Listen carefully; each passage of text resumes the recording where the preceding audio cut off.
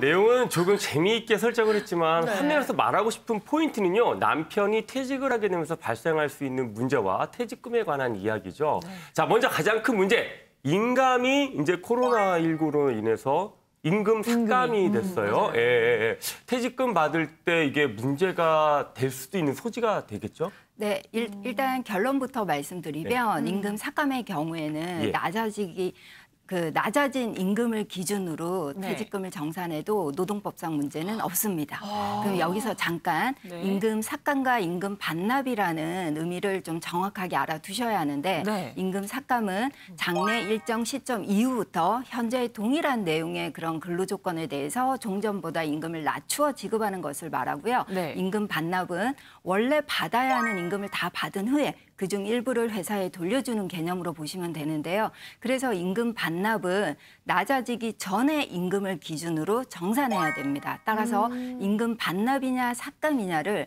정확하게 일단은 해두셔야 합니다. 오, 퇴직금 또 잘 받는 방법 아까 알려주신다고 음. 하셨잖아요. 어떻게 하면 잘 받는 거예요? 네.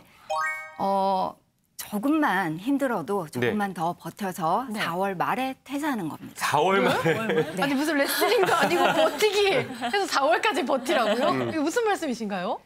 지금부터 설명해 드리자면 네. 퇴직금은 퇴사일 기준으로 이전 3개월 동안 지급받은 임금 총액을 그 3개월 기간 동안 나눈 후 근속 일수를 곱해서 나누기 360으로 어, 365를 해서 그렇게 계산을 하는데요. 아, 네. 예. 잘 이해가 안 가실 것 같아서 네. 표로 준비했습니다. 음. 일단 200만 원을 받는 A 씨가 있다고 가정하고 그렇게 설명을 드릴 건데 네. A 씨는 20년 12월 말에 퇴사하는 것과 21년 4월에 퇴사할 경우를 보면 퇴직 전 3 개월 임금 총액은 600만 원으로 같고요.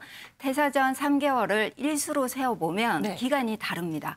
거기에 재직 재직 일수를 곱한 후 365로 나눕니다. 아. 4개월을 더 근무했을 뿐인데 음. 실질적으로 약 80만 원 정도 차이가 납니다. 음. 하지만 재직 기간이 만약 더 길면 길수록 퇴직금 액수는 더 많은 차이가 나겠죠. 우와, 아니 왜 이렇게 많이 차이가 나는 겁니까? 자, 80만 일단 원. 어. 준비한 표를 한번 보시면 예. 네. 이렇게 월별 일수를 두었을 때 최근 3개월 일수가 가장 작은 경우가 2월부터 4월 말까지인데요. 합한 일수가 89일이 되죠. 3월부터 5월까지 한다면 총 일수가 늘어나서 일일 평균 임금은 줄어들게 됩니다. 그러니까 2월은 일수가 좀 달에 좀 일수가 적으니까, 적으니까, 음. 평균 임금이 상대적으로 늘어나니까 퇴직금도 늘어난다는 거네요. 정말 완전 깨알 정보네요.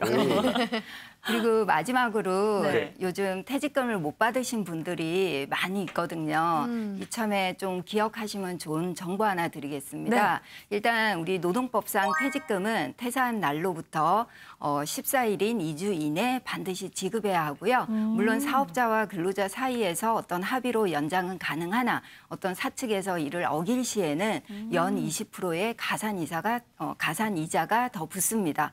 그래서 보다 전문적인 부분이 필요 하시다면 전문가 상담을 통해서 알아보시는 것도 좋을 것 같습니다. 네, 퇴직 고민하시는 분들한테는 정말 깨알 같은 네. 그런 종- 정보였습니다. 감사합니다. 감사합니다.